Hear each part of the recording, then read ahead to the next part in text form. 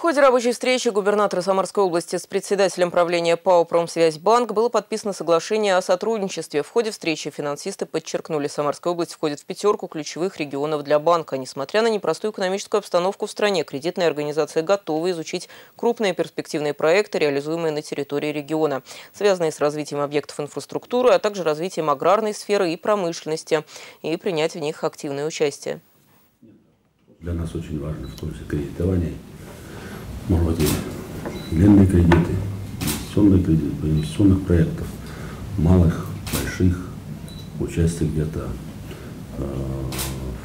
скажем, в частно-государственном партнерстве, в проектах частно-государственного партнерства, там, где э, потребуется участие банка,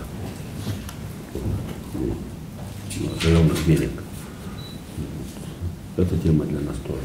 Николаевич, ради этого мы здесь услышать наиболее перспективные проекты, которые будут развиваться в области.